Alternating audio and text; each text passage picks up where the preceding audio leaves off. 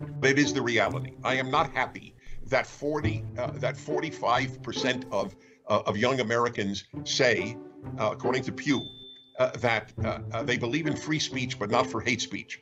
A, it shows you how incoherent young people's thinking is, that they don't understand that the whole point of free speech is to allow speech that you can't stand. Yes. Amen. Amen. Amen. Hallelujah. Praise the God I don't believe in. Prager's God that I don't believe in. This is a key point. The whole point of free speech is to allow hate speech.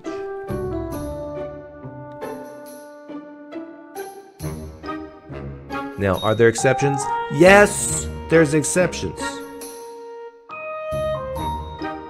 But in general principle, the point of free speech is to allow people to say things that you don't like.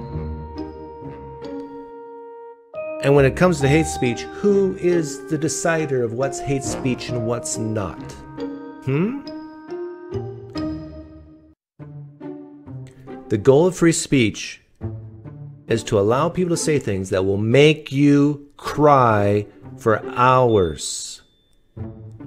And if you don't like that, then I would say you don't like free speech. For me to say to Dennis Prager, I think the God that you believe in, portrayed in the Old Testament, is a schmuck, a terrible entity, and you ought not worship him.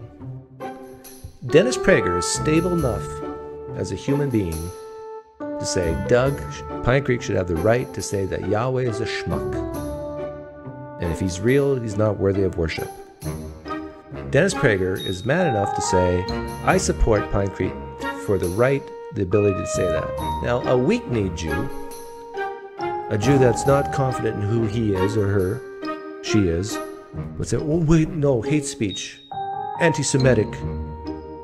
Oh no, D- uh, we, Doug should be canceled for saying Yahweh is a schmuck. He's anti Semitic.